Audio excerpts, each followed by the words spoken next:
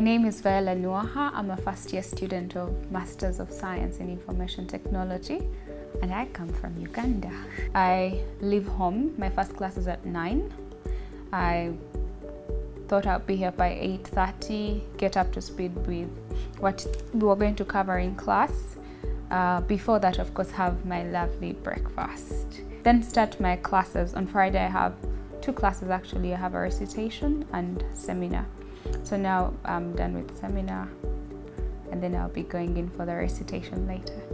I love Introduction to Information Security because it's the way it's structured, it gives real life scenarios, like the things that we take for granted, the thing we're like, ah, who knows? But you get to appreciate that security for anyone that is in information technology or in engineering is very key and someone has to do something about it. And the way the professor delivers the content we do real life scenarios through the assignments. So yeah i think that's the first one. My second I won't say my second favorite because I think they're all my favorite classes is data structures and algorithms. So the idea is that as a computer scientist, you need to know the basics. I mean, if you're going to build long-term solutions that are scalable but are also efficient. So that's what the class basically covers. Uh, I participate in two clubs for extracurricular activities, one being the Toastmasters Club. So for the Toastmasters Club, uh, at the moment I'm a member, we are given a chance to take on different roles.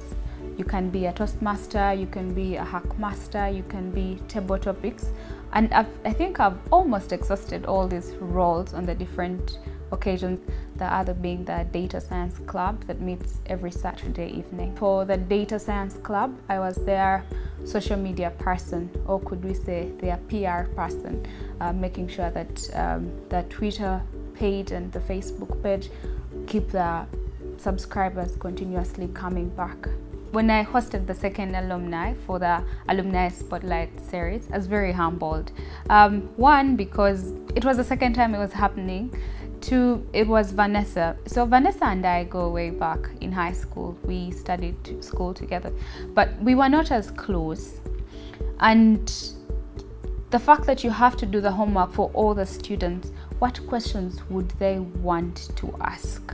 So you have to transform yourself into each of those students and make sure you come up with relevant questions. That multiple personality swapping places it challenges you to not think selfishly and then to also make sure that you achieve their intended objective. And then of course it makes me believe that people had faith in me that I could actually be the one that would interview her. So, like I said, it was humbling, it was challenging, and I think it was beautiful.